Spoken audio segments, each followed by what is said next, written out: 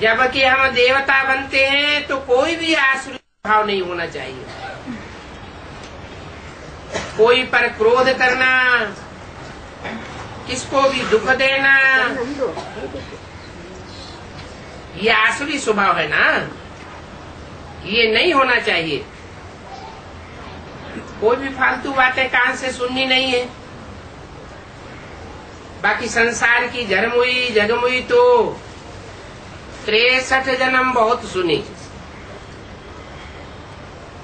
आधा कल्प से ये सुनते सुनते तुम नीचे उतरते आए। क्या सुनते सुनते? जरमुई जगमुई माने लड़ाई झगड़े की आपस की बातें। अभी बाप कहते हैं, ये झरमुई झगमुई मत करो। फलानी ऐसी है। इसमें ये अवगुण है। ये सब फालतू बातें। कोई फालतू बातें नहीं करनी है। ये तो जैसे कि अपना समय बेस्ट कर रहे हैं।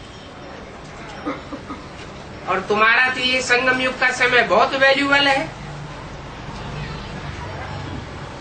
पढ़ाई से ही अपना कल्याण है।